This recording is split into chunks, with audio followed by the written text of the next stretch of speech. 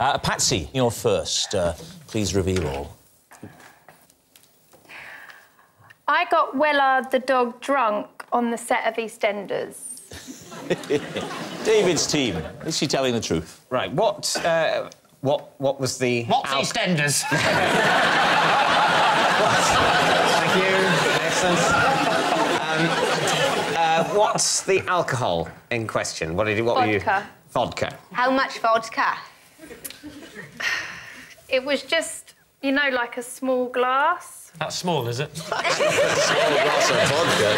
How But did the you... glass, it was one of those small, round, like flat bottom little glasses. Just a glass, basically. You just described a glass.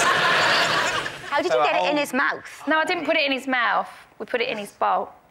But He thought it was water. yeah, How far through it did he get before he he realised it wasn't whole water? bowl. I would have thought at some point in the drinking process, as a dog, you're going to go, something here is different.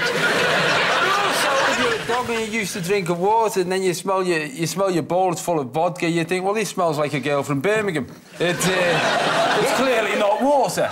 Smell, that's it. That's what dogs do all the time. Exactly.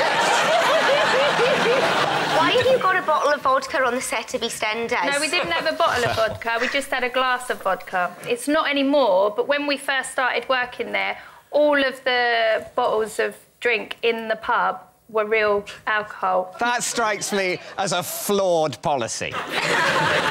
Not then. Now you couldn't have it, health and safety, but then there was real drink in the pub. Is that why Den was so dirty? Because everyone was just pissed. the vodka sufficiently diluted with the water that the dog doesn't notice. And Yeah. presumably the whole place is sticky of booze anyway, with all, what, with all the pissed up actors for getting their lines.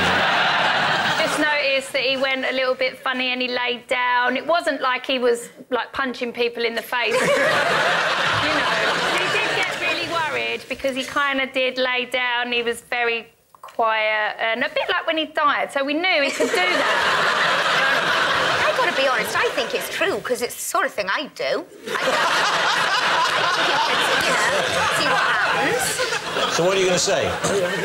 Do you think it's... I think if, if you haven't at some point tried to make a dog drunk, you're not normal. I think, I think we true. think that almost anyone, given enough time sitting in the same room with some vodka and a dog, will either put the vodka in the dog or the other way round.